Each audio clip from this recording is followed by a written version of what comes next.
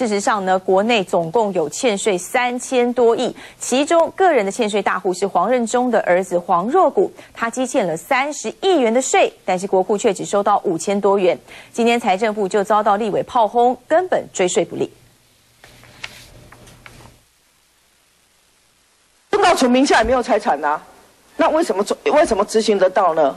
那其他人证明不到了。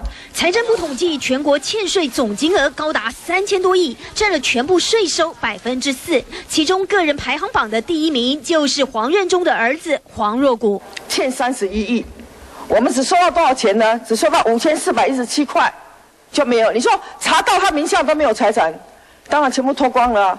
在机关方面，台北市政府是欠税第一名，多达五百六十六亿；高雄市第二名，三百四十六亿；台北县政府七十四亿。立委炮轰，不管是在个人还是机关，财政部根本查税不力。要数字是很大，大概将近三千亿的欠税，那这个是五年。应该管收应该放在最前面，你的公告名字啦，就跟他沟通啦，或者进管啦，其实都没有管收来的效果好。每一百元税收中就有四元是欠税，商界文人张秀正。陈友豪以及真正人也都是榜上有名。